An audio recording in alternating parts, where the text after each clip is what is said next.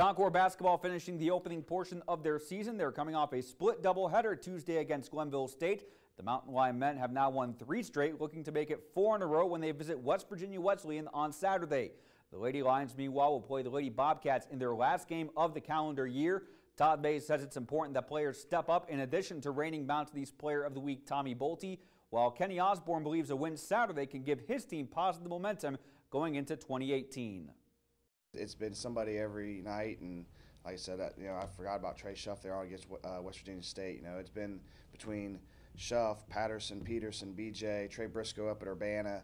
You know, at any given night, somebody can step up and make plays for us, and that gives me a lot of confidence as a coach. We have to get this win, need to get this win, and to give us some momentum heading into break when we come back to start some tour days there at the end of December. But, you know, again, it's a road win, and hopefully if we can get this win on Saturday – gives us our first league road win and two uh, conference wins heading into break.